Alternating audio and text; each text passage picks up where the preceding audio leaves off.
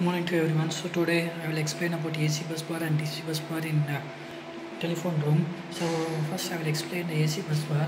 So this is the AC bus bar, which will be uh, one will be connected to the DB one wire, and the other one will be connected to like this, like to all tiles like this.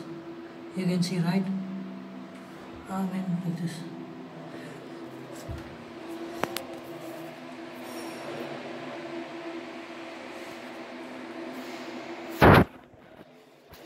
Uh, it will be like this you see. And DC will be given directly from the bus. I hope I have everything and people understand everything